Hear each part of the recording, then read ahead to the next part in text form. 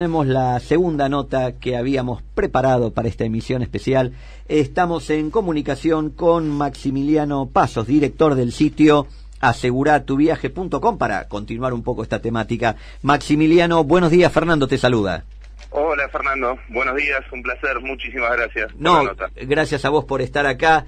Y bueno, sabemos que aseguratuviaje.com fue de los pioneros en la venta de este tipo de coberturas y planes de asistencia.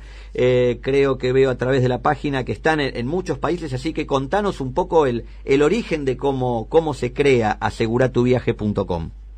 Nosotros éramos muy jóvenes, fuimos uno de, digamos, uno de los primeros sitios de, de banca seguros de habla hispana Pensá que, bueno, yo tenía 21 años cuando empezamos este proyecto, eh, lo hicimos tres amigos del colegio, que, en sí nos inspiramos un tema por, por, por, porque vimos, porque usamos el servicio, ¿no? El tema del seguro de viaje es un, un producto que, bueno, habíamos visto que se comercializaba. Nosotros primero arrancamos con aseguraronline.com, que fue un, es el comparador de seguros multirámico. eh, somos productores de seguros y después vimos que en el servicio de asistencia era un, un producto que funcionaba muy bien porque lo usamos eh, y nos dimos cuenta que, que, era un producto que no era un seguro, sino que era un producto que se utilizaba asistencialmente y que te resolvía problemas eh, médicos eh, súper importantes cuando cuando estabas lejos, ¿no? Que y, realmente lo vimos como, como un gran canal y una gran necesidad a un, a un viajero que, que cuando vos viajas estás totalmente desprotegido, ¿viste? no Estás fuera de tu casa, estás lejos. Sí, sí. Entonces era era en el cual te relacionabas también con las personas de otra de otra forma, no no estabas solo cuidando su bien, sino que estabas cuidando su salud y su vida y y en, bueno y con otro tipo de coberturas que hay, pero principalmente la, la salud y, creo que es algo más lo más preciado más cuando estás viajando y en un momento súper fantástico como puede ser una vacación, ¿no? Eh, y, bueno, arrancamos por ahí. Maximiliano, eh, yendo un poco a, lo que son los productos disponibles en plaza, creo que el primer tema, como en muchas otras coberturas, eh, eh, pasa por entender lo de la suma asegurada, qué es lo que uno debiera tomar y, que creo que también depende de cuáles son los, los países que va a visitar, porque hay, hay diferencias también en cuanto a esos costos. Es un tema de conciencia de cuidarse uno mismo, ¿no? Si, si, si yo te dijera, Fernando, cuál sería la cobertura que, que vos saques para cuidarte y, si no te costara nada y podrías pudieras elegir y dirías la mejor del, del universo, ¿no? Y, ahí está un poco el límite de, de, los planes que hay. Hay planes que, que tienen coberturas de 15 mil dólares de asistencia médico y que es un, plan mínimo y básico y comúnmente está ligado a las tarjetas de crédito o a los, o los planes de inclusión de líneas aéreas y después hay planes de hasta medio millón de dólares de cobertura. Eh, y, realmente al momento de elegir la salud uno dice, a veces a veces uno descuida, ¿no? Uno, nosotros en Argentina vivimos formando, bueno, nosotros vivimos formando a los viajeros del hecho de cuidarse, porque cuando uno no tiene nada no está bueno y cuando tiene algo insuficiente eh, tampoco está bueno, ¿no? Para protegerse, para cuidarse. Y ahí está la diferencia. Hay destinos que son mucho más caros a nivel medicina que otros. Por ejemplo, Estados Unidos, la medicina una locura. una consulta médica, ya estamos hablando de tres mil dólares. Entonces, eh, el día de internación puede llegar a estar 20 mil dólares. Cada día que una persona necesita estar internado tiene un valor y un costo de 20 mil dólares. Entonces, ahí es, bueno, voy a viajar a Estados Unidos, ¿cuál es la cobertura que debería tener? Y ahí, dependiendo de la cantidad de días y también, obviamente, la capacidad de lo que uno puede gastar para protegerse a sí mismo por si le pasa algo, eh, es donde, bueno, entramos nosotros ahí a a tratar de marcar un poco la, diferencia a través del asesoramiento. Yo creo que el asesoramiento desde nuestra cultura que vino de productores de seguros eh, hacia el servicio de asistencia nos lleva a tratar de que siempre el cliente se lleve lo, lo que le va a dar la tranquilidad en el momento que tenga el problema, ¿no? Nos decían también que el Oriente, el Japón, que muchas veces va a turista, es otro lugar donde es muy, pero muy alto, incluso creo que más que Estados Unidos, este tipo de costos. Eh, a ver, nosotros trabajamos toda la vida y todos los todos los años para tener 15, 20, 30 días de vacaciones en la mayoría de la gente y, y ponerle vos decís, me voy a Japón y vas a arriesgar en un lugar que también cuesta 30 una repatriación médica de Japón yo creo que debe estar alrededor de los 200 mil, 300 mil dólares por ejemplo, en un costo médico para darte una referencia. Entonces ahí es donde está un poco la, esa, esa diferencia. Hay coberturas que están adaptadas a destinos. Nosotros ya lo que hicimos fue esa inteligencia ya vamos casi 20 años analizando destinos, comportamientos y gastos en esos destinos. Siempre está la intensidad, ¿no? una situación más grave, pero bueno, uno ya lo tiene relevado a nivel médico desde nuestro lado, que también controlamos el servicio de las empresas de asistencia que vendemos y de nuestra propia compañía de asistencia. Y ahí vas viendo, en función del destino vas haciendo la, creación del plan, básicamente pensando de que, el viajero y que el pasajero pueda estar tranquilo y que, bueno, que esos días que yo te marcaba de vacación, de relajo, de trabajo, donde todo cambia, porque si vos te vas a Japón, Fernando, el, el agua es distinto, las temperaturas son distintas, el aire es distinto, que las bacterias que respiras son distintas, eh, todo tu cuerpo le cuesta adaptarse cuatro o cinco días eh, y le bajan las defensas. Entonces eh, ahí es donde, donde, donde entras, ¿no? Maximiliano, buen día. Marcelo Debe te saluda. Hola Marcelo, muy buen día. ¿Qué hace asegurar tu viaje cuando el viajero les plantea que tiene alguna enfermedad preexistente? ¿Tienen resolución para ese tema? Correcto, sí, sí. Nosotros fuimos los creadores y los impulsores de este tipo de cobertura porque era una cobertura que nos pedían mucho, mucho, mucho los usuarios y los y los viajeros, porque cualquier persona que tenga más de 50 años tiene algo que puede ser traducido a una preexistencia comúnmente. Entonces, eh, no queríamos que sea un limitante a nivel la prestación y la cobertura y del servicio y la cobertura. Entonces, primero lo requerimos a las compañías, obviamente tuvo una prima más alta y, y después lo empezamos a desarrollar nosotros y son coberturas que tienen no tienen la exclusión de enfermedades preexistentes o que tienen un sublímite menor de cobertura para la enfermedad preexistente.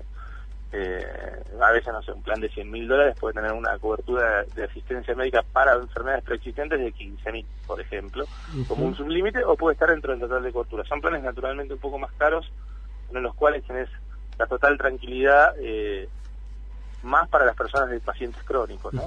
¿Y qué? Eh, siempre tratando algo derivado de su enfermedad preexistente, eh, no haciendo la, no sé, a un paciente crónico no es que se le consigue su medicación, sino que siempre es algo que pueda ser relacionado a su enfermedad preexistente que no se rechaza diciendo usted ya tenía esto.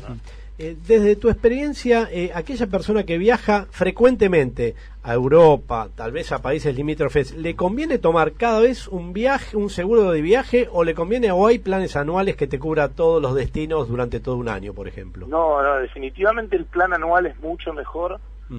Eh, primero porque las coberturas están creadas para viajeros ejecutivos. Son planes pensados para, para viajes en Comúnmente el que viaja mucho, salvo que sea una persona que tenga una vida fantástica, es un, es un empresario, un viajero, un trabajador, es una persona que le toca viajar por trabajo y, y ese es un ejecutivo de la empresa. Entonces esa persona necesita cierta, no sé, ejecutivo de sustitución por si se enferma, eh, la cobertura ya pensada para un viajero corporativo que está trabajando y, y que representa un interés para para la empresa también. Entonces son planes con mayor cobertura y realmente son mucho más simples, porque yo tengo un plan eh, larga estadía y ya está, una vez por año se me renueva, sé que viajo todo el tiempo, ya sé qué compañía tengo, eso ya, ya lo, lo tengo marcado y no tengo que estar todo el tiempo bueno, accediendo, perdiendo mi tiempo también en comprar un, producto que termina siendo más caro. Dos viajes eh, tienen un valor de un, de un más o menos, es un 30% más encima de la póliza tradicional o, de la cobertura tradicional. Maximiliano, cuando ocurre un tema como, como este que pasó con la turista argentina en México, que, que impacta mucho en los portales de noticias, en, los medios eh, televisivos también, ¿ustedes advierten que hay como un incremento en la cantidad de, de consultas que los montos que se piden tal vez se elevan, porque en este caso justamente faltarían algo así como 80 mil dólares de la cobertura que tenía. ¿Esto se advierte o, realmente, realmente sí es un golpe de conciencia. Yo creo que lamentablemente, porque lamenta no, lo que menos le deseo a alguien es que le pase algo en el exterior, pero lamentablemente, pero al mismo tiempo positivamente, esto ha generado una conciencia de que pase algo grave para, para que una persona, para que todos sepamos hoy que viajar con una cobertura de 80 mil dólares o menos de 80 mil dólares es, eh, es algo, es un error, eh, reitero, es un error. Y hay veces que eh, nosotros, bueno, nosotros trabajamos todo el tiempo tratar de asesorar al cliente para que entienda que tiene el ideal es una cobertura mínimo de 100 mil dólares para arriba. Sí incrementaron las consultas. yo creo que los llamados que hemos recibido desde de, este, estos lamentables casos hemos notado usuarios y clientes más preocupados en, en proteger su, su salud que, que, en sacar algo, porque hay muchas veces lo natural es que uno no se va a enfermar en su cabeza, entonces bueno, lo saco porque lo tengo que llevar pero no lo uso y, y realmente creo que se ha cambiado eso una conciencia de, uy, cuando lo use, esto lo saco por si lo necesito, ojalá que no lo necesite, pero pero si necesito lo necesito y necesito que sea el mejor posible. Nosotros establecimos un comité de crisis, que llamamos internamente, en el cual estamos recontactando a todos los clientes, a todos los viajeros, eh, son como unos 20.000 viajeros de, forma telefónica y de forma email por digital, eh, incentivando a los viajeros que tengan menos de 100 mil dólares a, sacar un producto de, de 200 mil dólares de cobertura, un, upgrade de producto para, por lo menos para nosotros también al mismo tiempo asesorar. Acá es está bueno el interés de un lado y tiene que estar bien el asesoramiento del otro y a nosotros también nos nos enseñó la importancia. Pasa que uno obviamente no quiere ser recurrente como compañía y respetar la decisión de, nuestros clientes, ¿no? Pero nunca está de más eh, decir, mira, recomendamos que como vos ponías el ejemplo, eh, Fernando, me voy a Japón, mira, también es me voy a donde sea.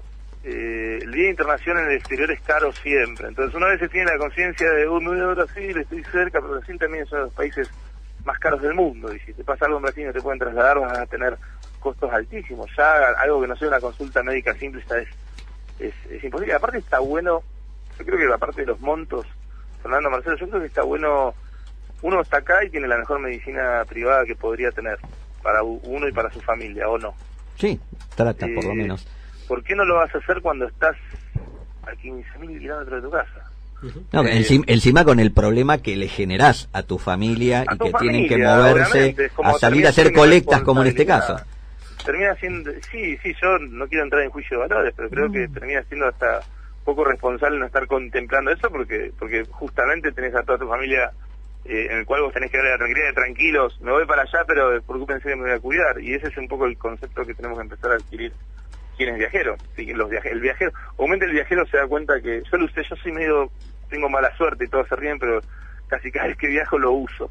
Y no sé, me han operado, ha perdido mal, me ha pasado de todo. Y realmente tener donde llamar y que te que, alguien te dé una mínima contención. Una en Madrid, me atendieron en el mejor hospital de una clínica de Madrid, donde después me enteré por mi mujer que vivía ahí y que se habían nacido los, los hijos de la princesa no sé quién.